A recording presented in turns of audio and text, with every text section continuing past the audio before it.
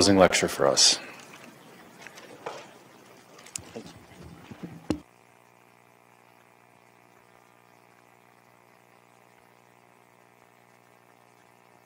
Well, I'm going to talk about um, uh, some issues in concerning the Selmer group for elliptic curves, but let me first say that it's really quite startling for me to to be at this winter school and to see so many eager and wonderful students. Um, when I was a graduate student, Iwasawa theory was a tiny subject. Um, um, Iwasawa had a couple graduate students. Um, the only thing to study, really, uh, um, was Iwasawa's own papers. Maybe eight or ten papers would have been enough, more than enough. Um, and but now things have changed dramatically, and uh, just coming to the winter school and seeing what's going on um, is just one demonstration of that fact. Um, well, so I'm going to uh, assume P is an odd prime and gamma is, as usual, in these lectures, the Galois group of Q infinity over Q or Q infinity. I'm just setting up some notation. Q infinity is the union of Q ends, the cyclotomic ZP extension. of Q.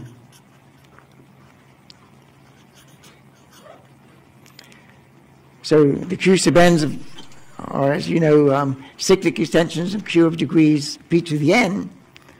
And the Galois group gamma is uh, isomorphic to ZP. It's an inverse limit of those cyclic groups of order p to the n. And uh, so then let's form a, a ring, lambda, ZP double bracket gamma. And uh, I often like to just think of it that way uh, as an um, abstract object, just the inverse limit of the finite group rings, the group rings for the finite groups, the Galois groups of Q sub n over Q. But um, Lambda is also isomorphic to a, a formal power series ring in a variable t. And one can think of t um, as corresponding to gamma minus 1, where gamma is a topological generator for capital gamma. And with this notation, um, suppose x is a finitely generated lambda module.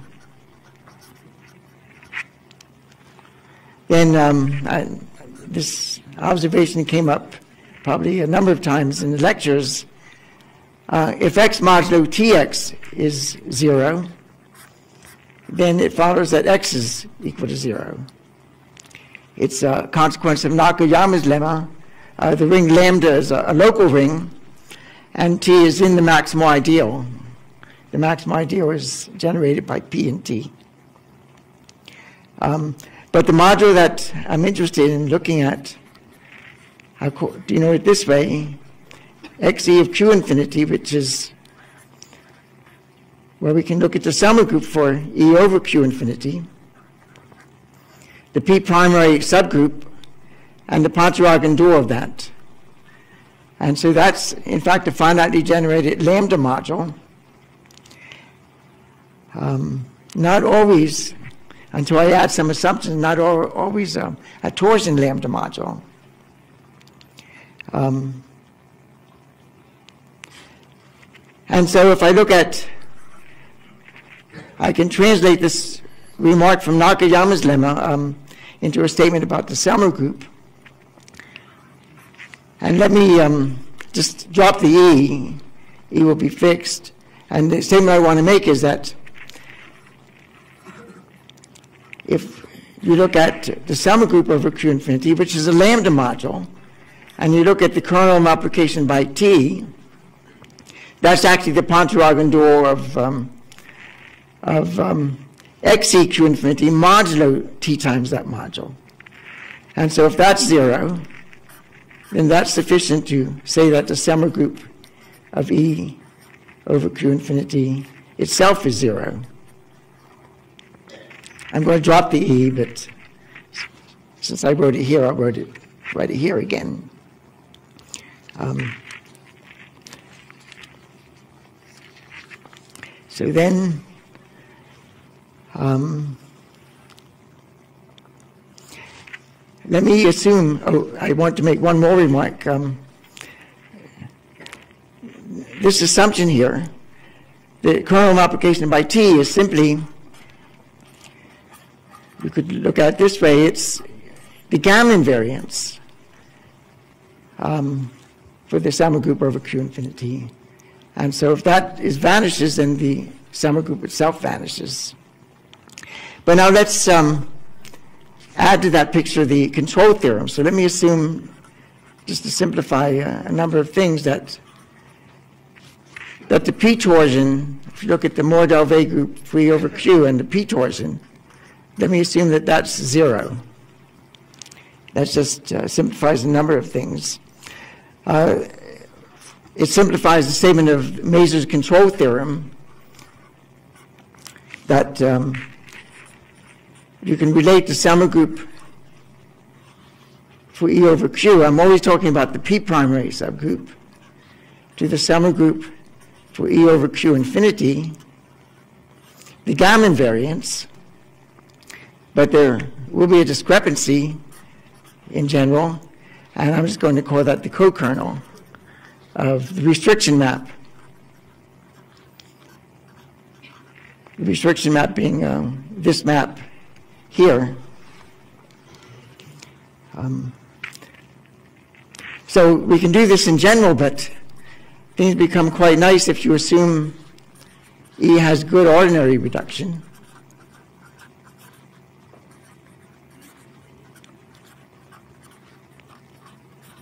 at P. Then, as has been proved, um, uh, Chris proved uh, this in his lectures that the kernel, well, the kernel is zero and the co-kernel is actually finite. And not only that, but um, Chris gave basically a formula for the co-kernel. And um, the remark I want to make right now is that um, uh,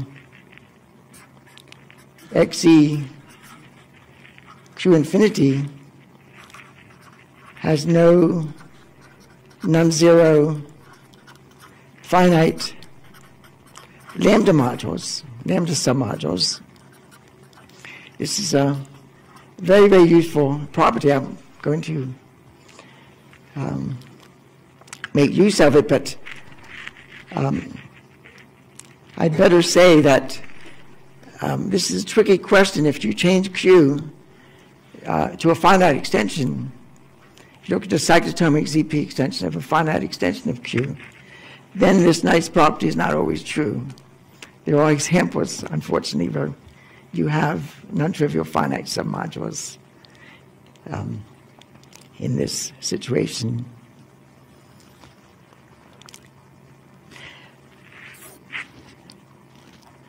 So then the statement becomes the following.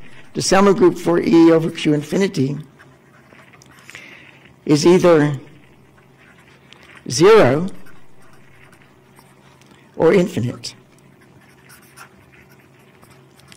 Because the Pontryagin dual um, could very well be zero, but if it's but it can't be finite.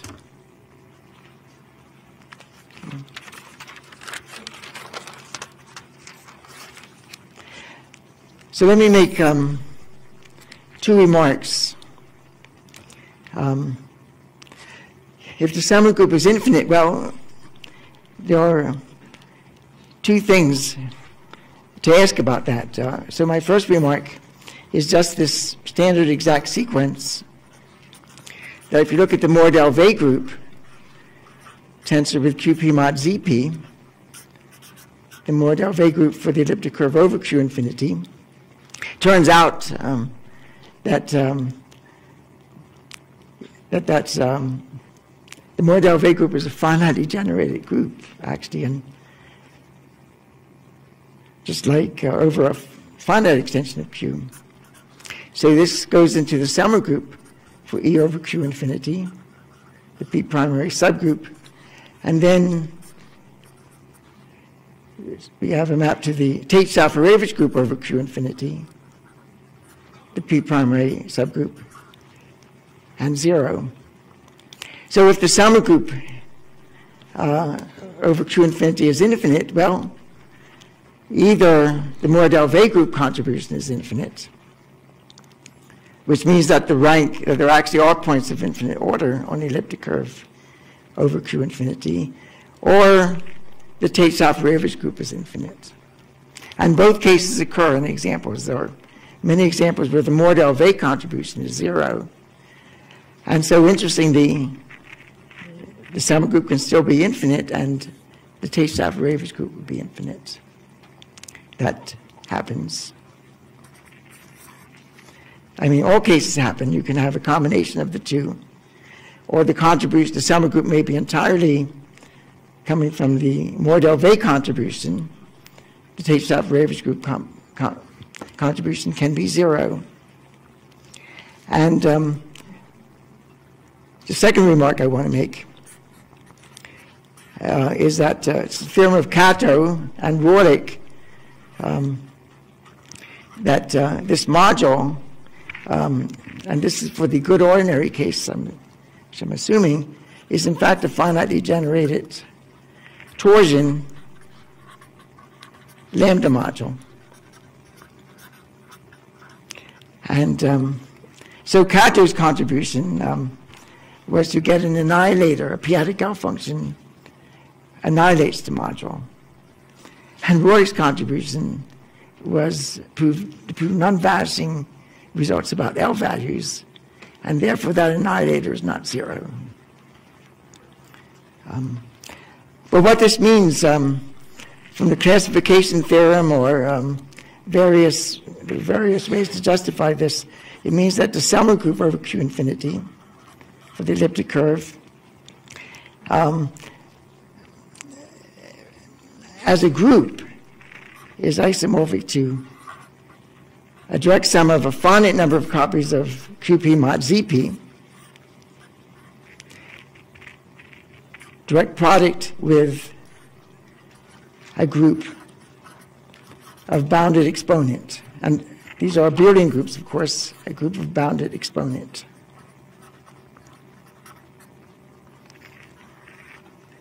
And uh, so the first factor is just the maximal divisible subgroup of the Selmer group over Q infinity. And um, I'm going to call this lambda E, the lambda invariant. And that's an interesting uh, invariant to look at. But this group of bounded exponent can actually be infinite. I'm going to give an example of that later. Um, it can't be finite, though, because if it were finite, then the Pontryagin dual x infinity would have a, a finite lambda submodule. And so this group of bounded exponents is actually either zero or infinite. And I'm not going to be precise, but there's a mu invariant, which one can, um, which describes the structure of this more precisely. And the mu invariant um, um, is equal to zero if and only if, um, well, I could say it this way, the Selmer group over Q infinity is divisible. So this second uh, factor is not, uh, is zero. Um, and actually, um, in terms of the characteristic ideal, um, the mu invariant is simply uh, the, the power p. p to the mu e is the power p that divides in the ring lambda uh, a generator of the characteristic ideal. And lambda e is actually the number of zeros of, of a generator of the characteristic ideal, counting the multiplicities. So the questions you can ask um, um, are, um, if the Selmer group is infinite, is it the Mordell-Weil group or the Tate-Shafarevich group, or both? That's one question. The other question is, if the Selmer group is infinite, is it because lambda is, in, is positive? Or um, could it be that the contribution, what makes it infinite is that the mu invariant is positive? Um, now I have to figure out where to, oh, yes, okay.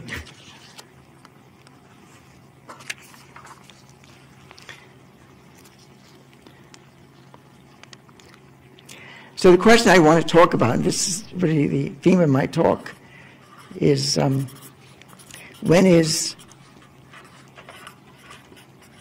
the Selmer group for E over Q infinity not zero, and therefore infinite, as I remarked before. And um, so I don't know, is the control theorem still um, Okay, let me write down the control theorem again. The Selmer group for E over Q maps to the Selmer group for E over Q infinity. Gamma invariance maps to um, the co-kernel. So of course, um, there are some fairly obvious situations where the Selmer group over Q infinity will be non-zero. Um, namely, um, they all be the rank of the Mordell-Weil group for E over Q. And if R is positive, then um, um, I think it's where if I look at remark one over there, um, if the rank is positive, then when I tensor with QP mod ZP, I get QP mod ZP is mapped injectively, QP mod ZP to the R. That would be the first term in uh, that remark one. And that's mapped um, to, um, into the Selmer group for E over Q, which is mapped into the Selmer group for E over Q infinity gamma invariance. And obviously it's mapped into the maximal divisible subgroup. Well, so it goes into the Selmer group for E over Q infinity and actually into the maximal divisible subgroup. So that means that lambda sub E, as I've defined it, is at least R. And that will make the Selmer group infinite. Um,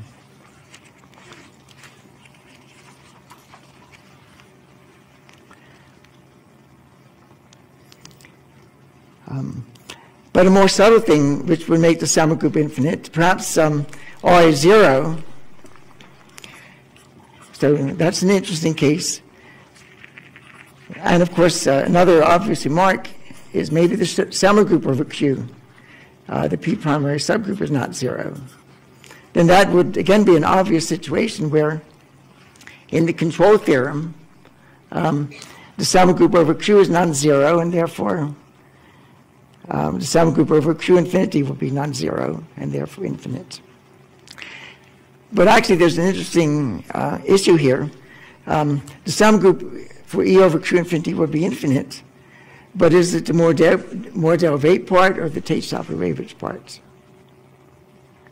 And um, in fact, it could be either, because one um, phenomenon which happens, you could have um, the rank equal to zero over Q. And the Tate-Shafarevich group might be um, a non-trivial finite group. But maybe the Mordell-Weil group over Q1, the first layer, is positive. And so what can happen um, is that the Tate-Shafarevich group could become trivial. Um, it could land in, in under the restriction map in the Mordell-Weil contribution to the Selmer group over that large field of that field Q1. And this phenomenon is kind of um, what one might call a visibility phenomenon, where elements of SHA can actually be seen as elements in some Mordell-Weil group. Um, so in fact, um, in this case, either phenomenon could happen. It could be the Mordell-Weil group or the Tate-Shafarevich group for the Selmer group over Q infinity, which, which is infinite. Um, okay, but now let's consider the possibility that the Selmer group over Q is equal to zero, which certainly happens. But then the co-kernel, in the control theorem we have this co-kernel, which could be non-trivial, and, and one can uh, compute its order. And so one finds, um, and this comes from um, things that Chris proved, um, um in this case, the Selmer group for E over Q infinity is not zero. Um, that's equivalent to saying that the co-kernel is not zero, which means that P divides some Tamagawa factor, CL, for some L dividing the conductor of the elliptic curve but not equal to P. Or another possibility, uh, using the notation that uh, Chris used, alpha P might be congruent to 1 modulo P. You remember in the valuation of 1 minus alpha P comes into the order of the co-kernel in a certain way. And uh, this is a phenomenon which um, the fact that this congruence, I'm not going to really say anything about the first divisibility.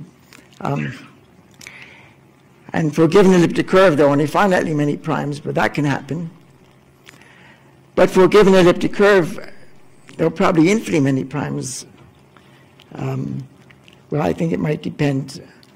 Um, but at least for many elliptic curves, there should be infinitely many primes where this happens. Now, um, I'm assuming the elliptic curve has uh, good ordinary reduction. And if you look at the FP points on the reduced elliptic curve, the order of that group is given by a formula like this, 1 plus p minus a sub p, where a sub p is the p Fourier coefficient in the modular formula uh, corresponding to E. But one can also write this as 1 minus alpha p times 1 minus beta p, where alpha p is a p-adic unit and beta p has valuation 1. And, um, and so alpha p congruent to 1 mod p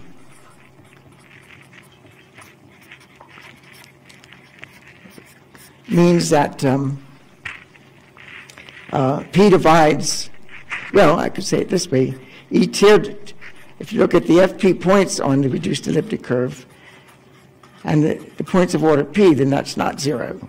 There would have to be a point of order p. And another way to say this is that um, a sub p is congruent to 1 modulo p. Okay. Um,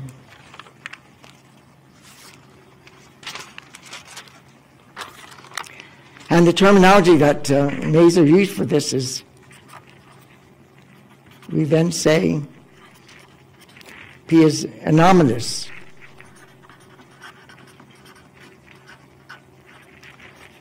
for E.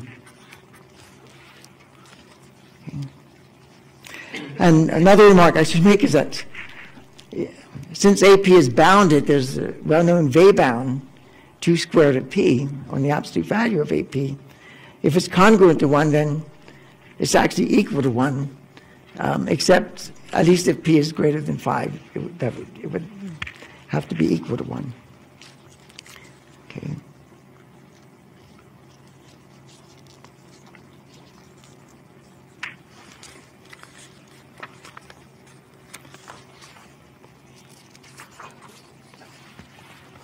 And just one more word about uh, this anomalous situation. Um, uh, another way to describe it is that if you look at E bracket P, so there's a map to E tilde, bracket P, just reduction modulo P, and that map is surjective, and there's a kernel, um,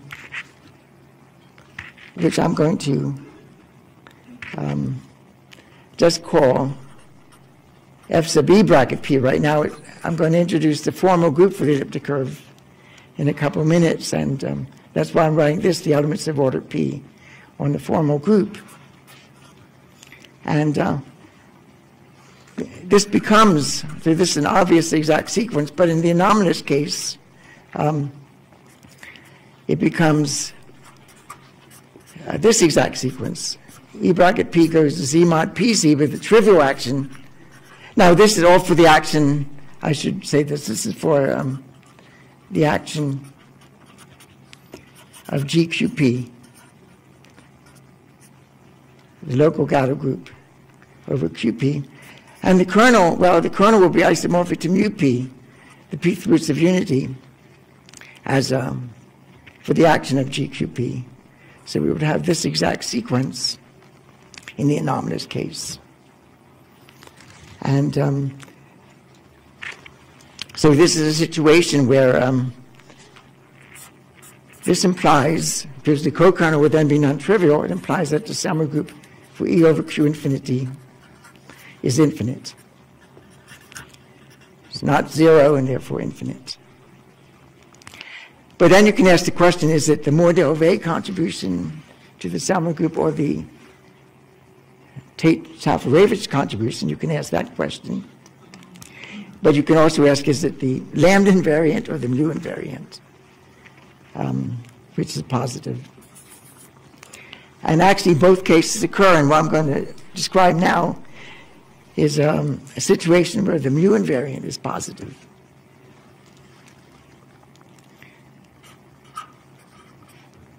And uh, I think one thing that makes that interesting is that I imagine um, Professor Coates mentioned this. Um, for the um, classical Iwasawa module, the inverse limit of um, p parts of ideal class groups in the cyclotomic ZP extension there's a long, a great conjecture that the mu invariant is zero. Um, and this has been proved by Ferrero and Washington um, in the case of an abelian ground field. Um, but in an elliptic curve case, we can have this phenomenon. And um, so one can ask, is there any conjecture reminiscent of the conjecture that one has in classical Iwasawa theory. So let me discuss this, and um, I want to consider a situation um, suppose that we have an exact sequence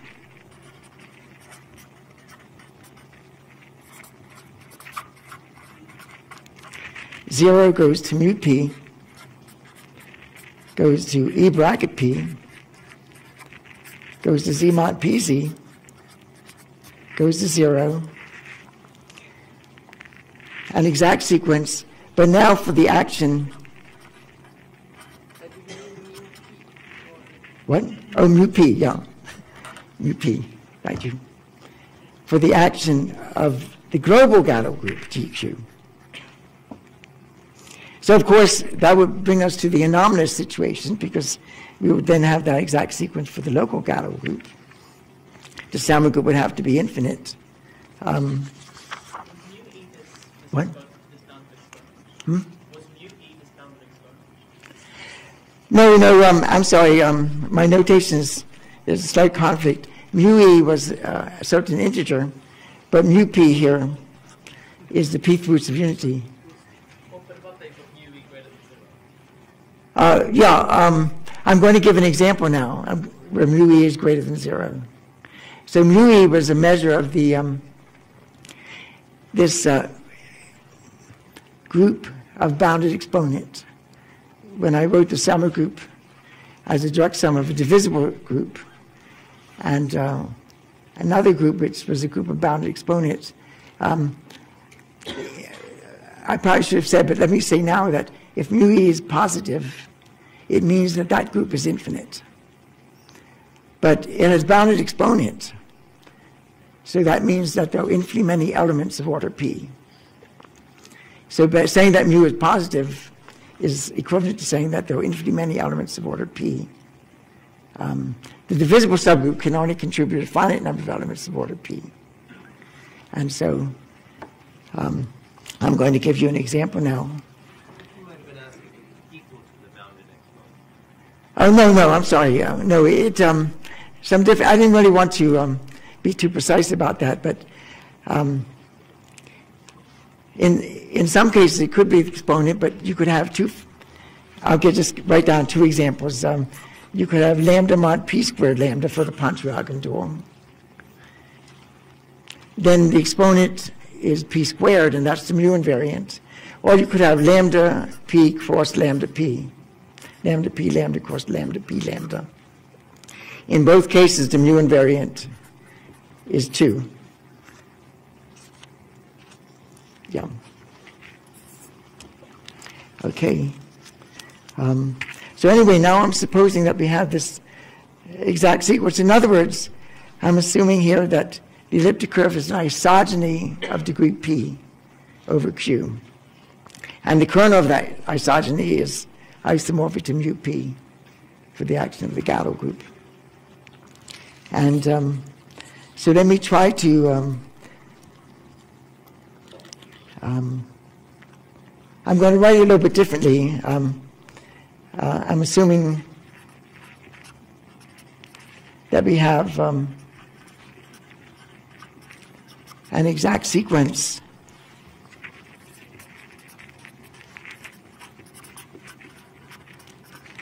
Zero goes to phi, goes to E bracket P, goes to psi, goes zero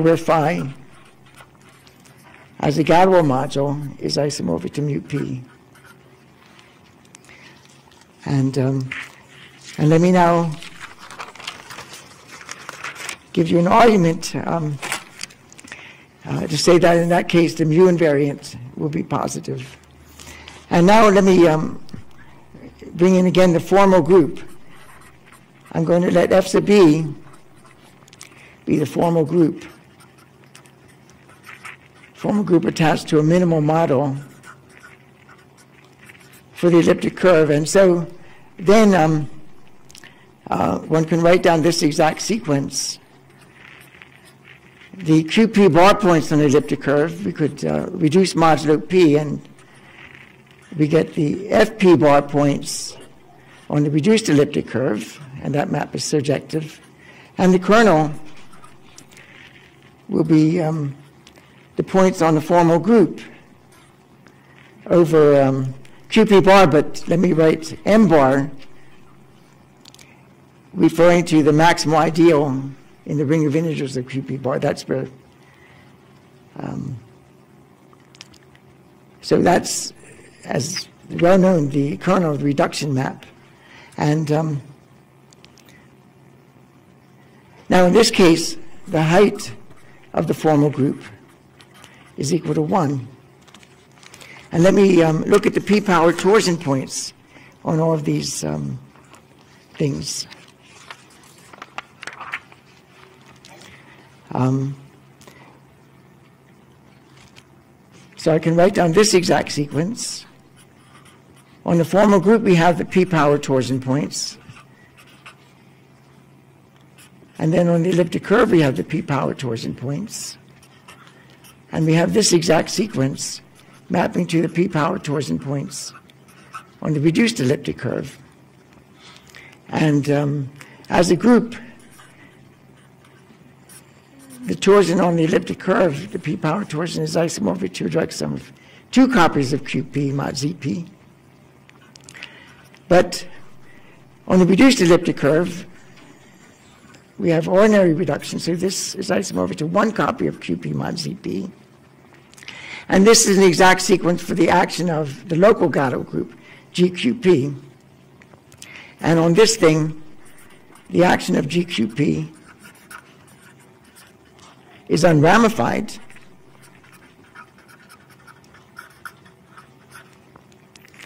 And the Frobenius for P, the Frobenius acts by multiplication by alpha P.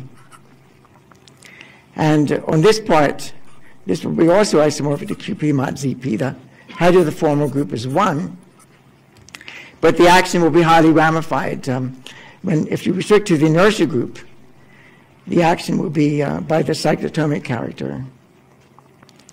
And um, so this has a bearing, um, and um, this was explained by um, by Chris uh, in his lectures. This has a bearing on describing the Selmer group. The Selmer group for the elliptic curve, the Selmer group for the elliptic curve over Q infinity could be described this way as the kernel for the, um, the relaxed Selmer group over Q infinity so there we're just requiring uh, cocycles to be unramified at all primes uh, except for P. And then um, I'll put it here. Then we map that to H, uh, QP infinity. I'll use this notation for the cyclotomic ZP extension of Q, of QP. Um, e bracket P infinity modulo Fe bracket P infinity. So this is uh, may, maybe different notation, but this is um, um, the description of the local condition at P uh, defining the Selmer group in the case of good ordinary reduction. Um, this quotient, of course, is isomorphic to E tilde bracket P infinity. And we're basically looking at um, uh, H1 modulo H1F is um, but uh, maybe I should let me just remark that we have this obvious exact sequence. Um,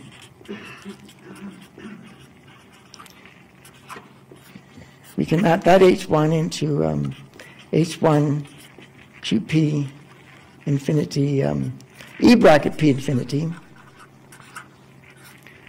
And, uh, and then um, to um, the H1 I have here, H1 QP infinity, EP infinity, modulo F sub E P infinity. And so, so the um, cocycles which are trivial here are exactly the cocycles which are the, in the image of this map from H1 with values in FEP infinity to H1 with values in E bracket P infinity. And the point of this remark is to, to describe the Selmer group for E over Q infinity is the set of all cocycle classes in the relaxed Selmer group Um, actually, okay, I don't really need the zero. Um, um, and um, okay, so that let me erase that zero, but but I don't need it because the remark I'm going to make is that the image of that first map is the kernel of the second map. So we're looking at the um, cocycles in the relaxed Selmer group for to infinity. And the uh, requirement is that sigma, the one cocycle, well, there are many uh, one cocycles that represent the same class, but um, all I need to say is that sigma is a one cocycle with values in FEP infinity. So the co-cycle classes which have such a representative um, will be co-cycle satisfying the local condition at P. Um, um, so let me come back to the situation where I have this exact sequence. e bracket p infinity, phi goes to e bracket p infinity, psi goes to zero. And these are, um, this is for the action of GQ, an exact sequence for the action of GQ.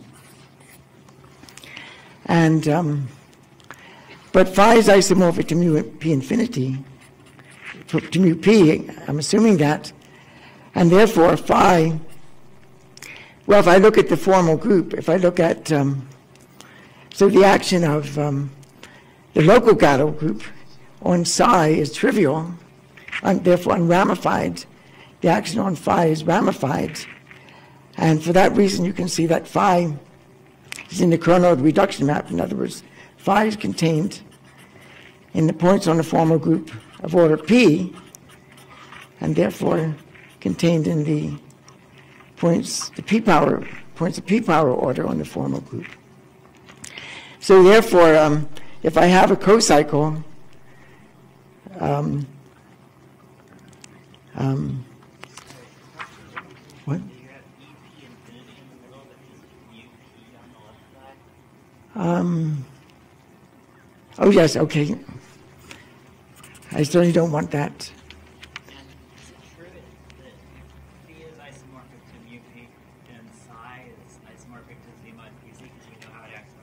That's right, yeah. That's right. So um, if I have an isogeny, yeah, that's exactly right. Okay. So maybe you see where I'm going now, because now I'm going to use classical Kummer theory. Um, let me make the remark which comes out of what I'm saying here. I could look at H1. Um, I'm going to use the notation H1 relaxed over Q infinity for um, phi. And all I mean by that um, is I look at the cocycles um, over Q infinity with values in phi which are unramified at all primes away from P. But that's mapped into Phi is a subgroup of E bracket P infinity. So that's mapped into, I'll use this notation, A1 relaxed over Q infinity with values in E bracket P, but I can put E bracket P infinity here.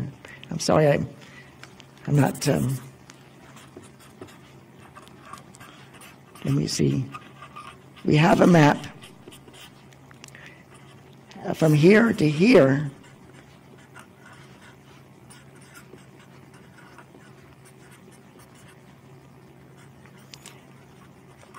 And, the, and I can put relaxed there because um, the cocycles will still be, the image of a cocycle here will still be unramified at all primes away from P.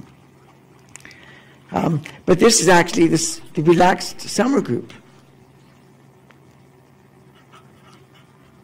over Q infinity for the elliptic curve E. Just the cocycles which are unramified at all primes away from P. And the map may not be injected, but it, it's not hard to see it has a finite kernel.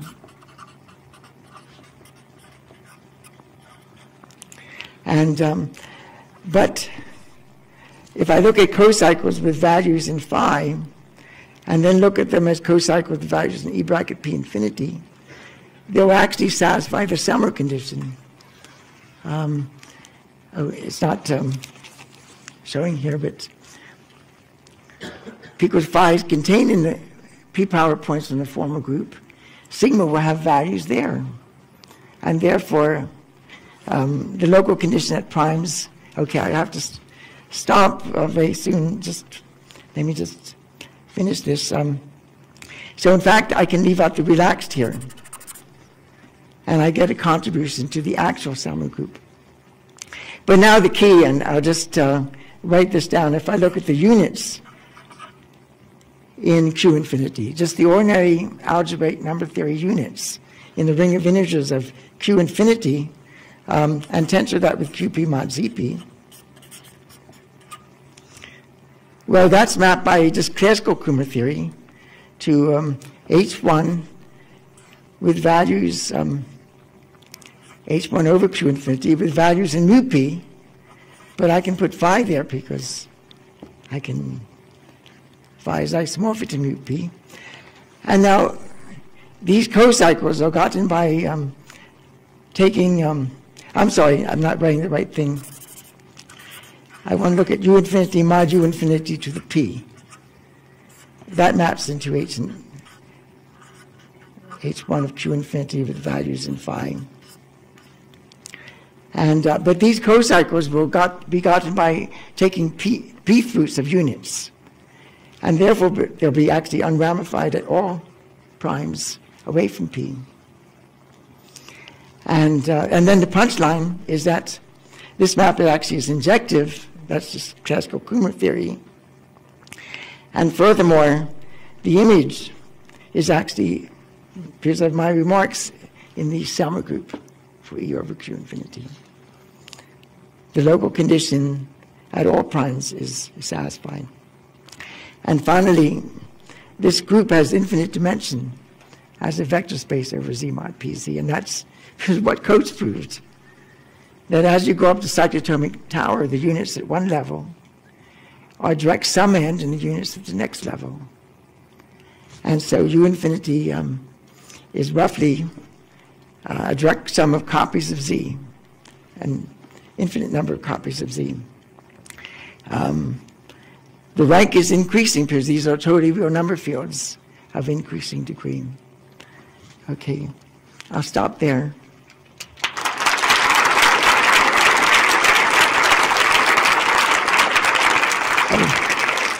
One more remark. Um, this can be imitated uh, if you have an isogeny of degree phi, which is ramified and odd. You can imitate this argument. And if you do not have such an isogeny, then I think there's a good reason to believe uh, that the mu invariant is zero. So that would be the conjecture. Um, in particular, if E bracket P is reducible, irreducible, then it's reasonable to conjecture that the mu invariant is zero. Okay, now I'll stop. Um,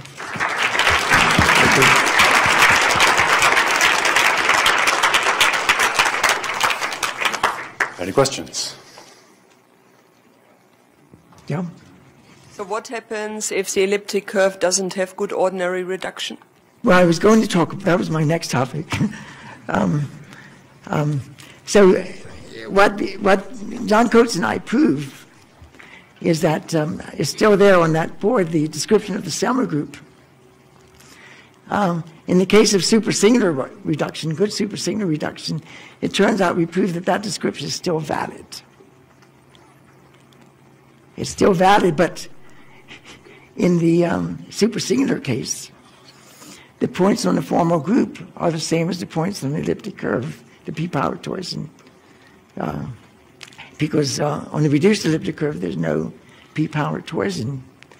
So that means that um, that every one cocycle in the relaxed Selmer group satisfies the local condition at P. Uh, but as Chris pointed out um, in his talk, the relaxed Selmer group uh, has lambda co-rank. He might have been talking about the ordinary case, but this is true in general that the relaxed Selmer group is Pontryagin dual has lambda rank 1.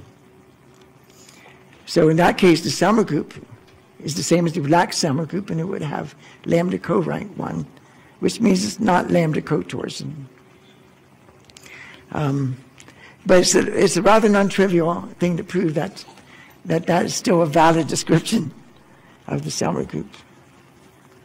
Um, it uh, relies on proving a Hilbert theorem 90 for the formal group.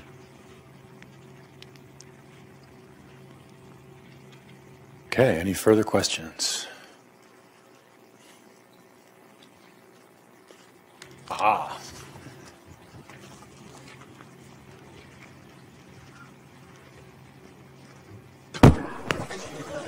Thanks, Bryden. Um, I feel like what I've heard is that uh, you suggested at least the mu invariant is either 0, 1, or 2. Do you have like an explanation for that? Oh, oh um, well, I meant to. I meant to give you an actual example. Um, if you look at the elliptic curves of conductor 11, there are three um, elliptic curves, they're isogenous to each other. And two of those elliptic curves have a subgroup of an isogeny whose kernel is isomorphic to mu, mu p, and this will p equal to 5, I should say.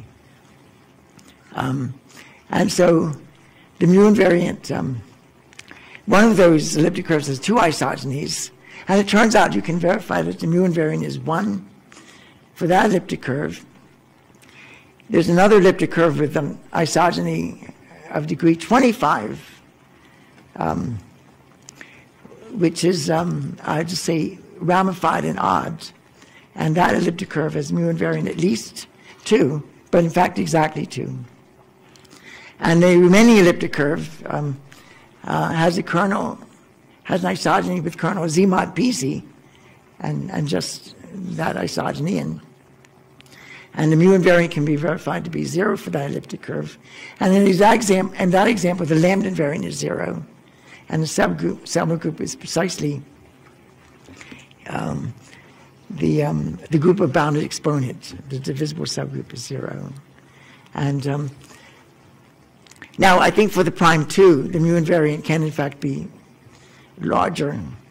Um, and I think um, it all depends on the isogenies that exist. And for the prime three, now I don't remember whether um, there's an elliptic curve with um, an appropriate isogeny, cyclic isogeny of degree 27. Um, I can't recall right now, but that would be the issue um, to get an example where the mu invariant is um, large. I forget for the prime two um, how big the mu invariant can be, but it can be uh, fairly big, I think, maybe eight, like that.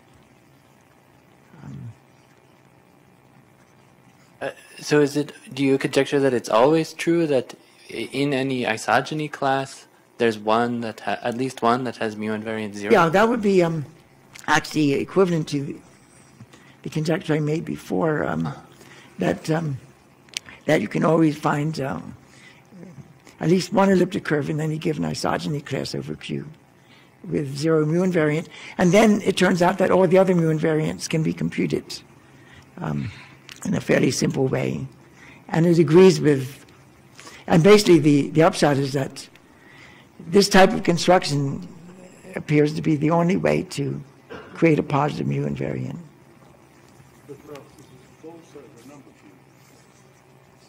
Um, oh yes, okay, that's another remark. Um, um, it is false over number fields that you can um, produce isogeny classes uh, where all the mu invariants are positive um, over certain number fields and for certain elliptic curves. You can produce uh, situations where the mu invariant is always positive.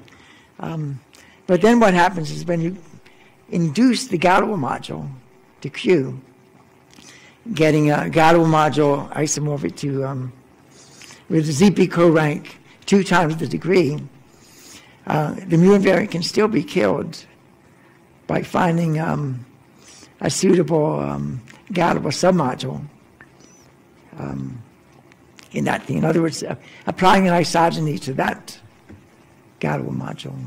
That, that would be a reasonable uh, conjecture. Um, Okay, uh, let's thank our speaker again.